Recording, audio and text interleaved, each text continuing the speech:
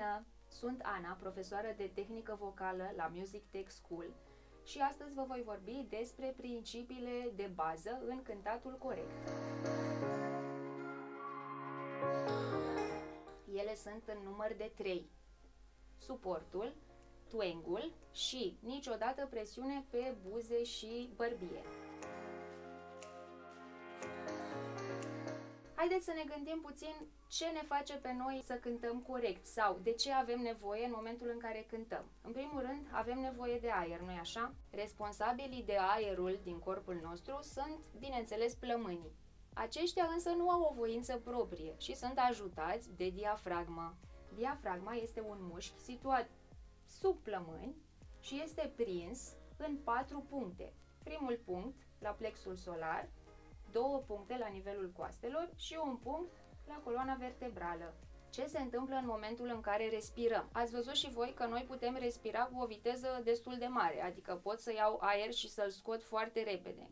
În mod normal, această mișcare este cam de 12 ori pe minut. Însă, în momentul în care cânt, lucrurile nu mai stau în felul acesta. De ce?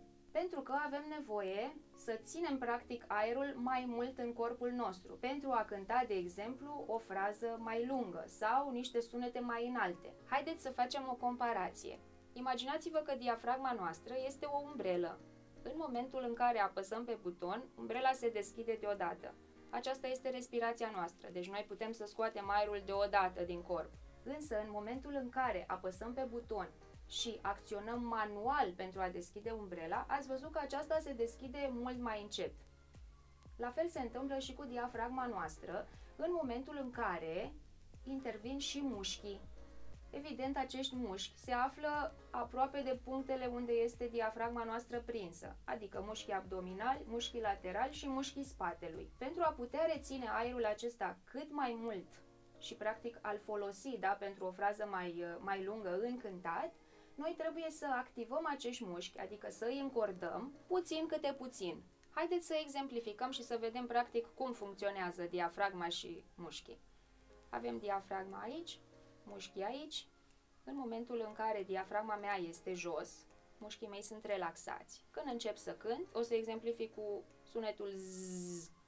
Mușchii mei încep să se încordeze și diafragma mea voi simți că iese în afară. Sunt relaxată și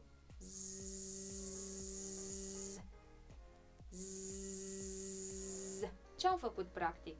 Am încordat mușchii treptat, timp în care aceștia au intrat spre interior, iar diafragma mea s-a ridicat ușor, dând aerul afară. Dar ați văzut că acest procedeu a durat mai mult decât o respirație.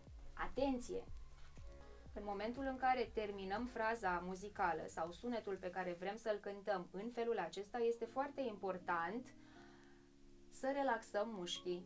În momentul în care mușchii nu sunt relaxați, practic, diafragma noastră nu are timp să se relaxeze nici ea și aerul nu mai intră în plămâni. Sau se poate întâmpla exact ce nu vrem să se întâmple, adică să respirăm superficial în partea de sus a plămânilor în felul acesta. În concluzie, suportul este, practic, împotrivirea ieșirii aerului din corp. Adică, în momentul în care mușchii se încordează, diafragma mea va rămâne extinsă și jos cât mai mult timp.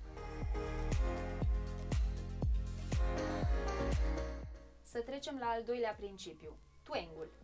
La ce se referă twangul? Corzile vocale sunt prinse anatomic într-un punct în față, iar în spate sunt deschise și au niște cartilagi. În momentul în care aerul ajunge la corzile vocale, ele încep să vibreze. Această vibrație își continuă drumul spre cavitatea bucală, însă, până la aceasta, se întâlnește cu epiglota și cu cartilagile de care vă spuneam că se află în spatele corzilor vocale. Și acum ajungem practic la twangul nostru. În momentul în care Spațiul dintre epiglotă și cartilagii se face mai mic, sunetul nostru va deveni mai metalic. În momentul în care acest spațiu este mare, sunetul nostru poate deveni foarte, foarte aerat și greu de ascultat.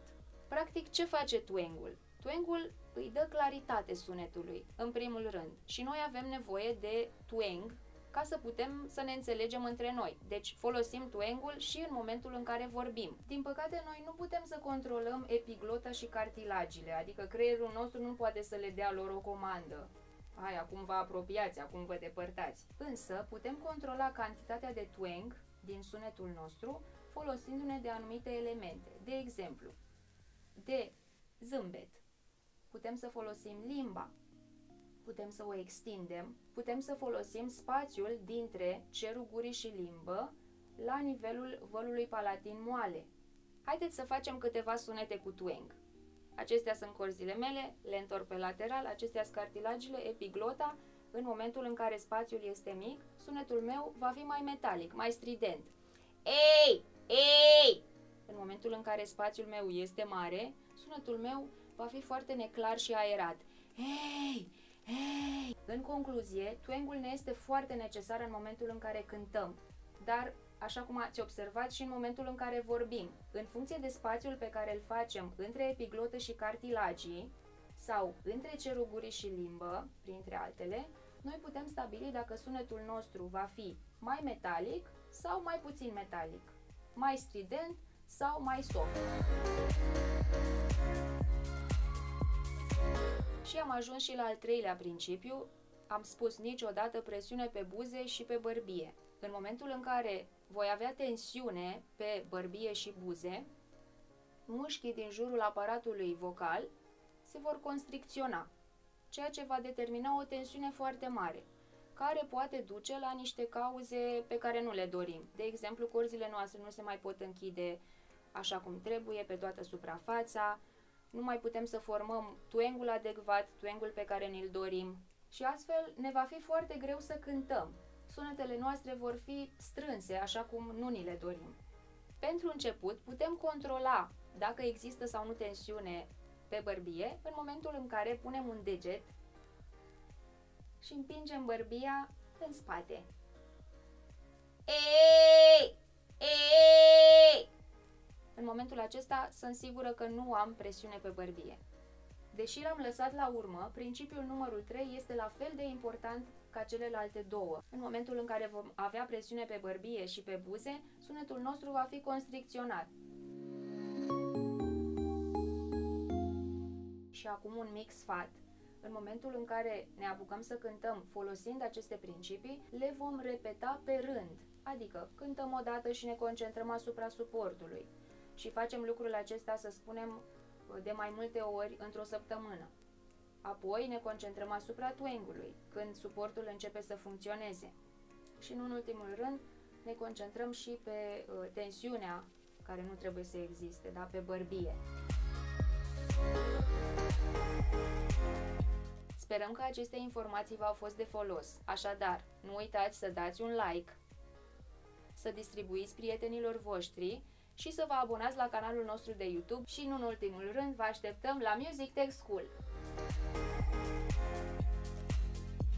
Thank you.